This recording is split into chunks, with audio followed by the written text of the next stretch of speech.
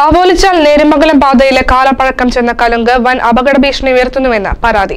നിരവധി തവണ പരാതിപ്പെട്ടിട്ടും അധികാരികൾ കണ്ണു തുറക്കുന്നില്ലെന്ന് ആരോപണം ഉയരുന്നു. കലുങ്കിന് സമീപം നിക്ഷേപിക്കുന്ന മാലിന്യങ്ങൾ കുടിവെള്ള പദ്ധതികൾ മലീമസപ്പെടുത്തുന്നുവെന്നും മാരക രോഗങ്ങൾ ക്ഷണിച്ചു വരുത്തുന്നുവെന്നും ആരോപണമുണ്ട്.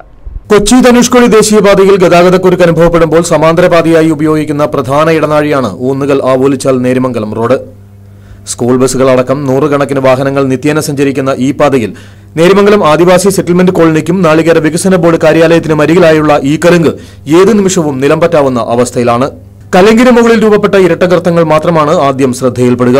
എന്നാൽ ഈ ഗർത്തങ്ങൾ എത്രമാത്രം അപകടകാരികളാണെന്ന് തിരിച്ചറിയണമെങ്കിൽ കലിങ്കിന്റെ അടിഭാഗത്തേക്ക് ചെന്ന് നോക്കണം. കോൺക്രീറ്റ് പാളികൾ അടർന്നു വീണ നിലയിൽ തെളിഞ്ഞു കാണുന്ന ഇരുമ്പു കമ്പികൾ തുരുമ്പെടുത്ത നിലയിൽ മുകളിൽ കമ്പി തെളിഞ്ഞ ഭാഗത്തോളം എത്തുന്ന ഗർത്തങ്ങളും താഴെ കോൺക്രീറ്റ് പാളികൾ അടർന്നു വീണതുമായ ദൃശ്യങ്ങൾ.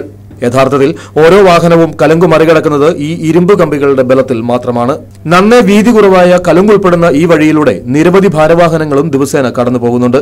വീതി കുറവിനോടൊപ്പം മഴക്കാലത്ത് കലങ്കിന് മുകളിൽ രൂപപ്പെട്ടിരിക്കുന്ന ഗർത്തങ്ങളിൽ ചെളിവെള്ളം നിറയുന്നതും അപകട ഭീഷണി ഉയർത്തുന്നു.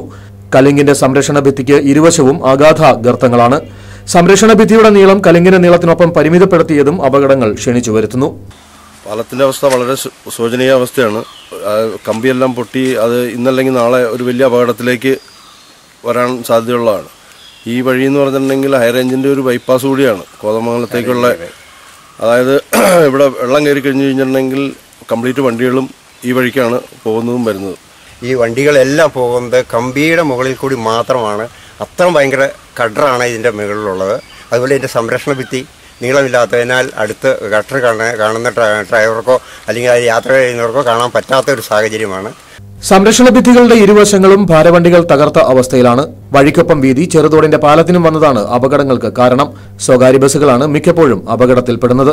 റോഡിന്റെയും കലിങ്ങിന്റെയും ശോച്യാവസ്ഥ എത്രയും വേഗം പരിഹരിക്കണമെന്നാണ് നാട്ടുകാരുടെ ആവശ്യം.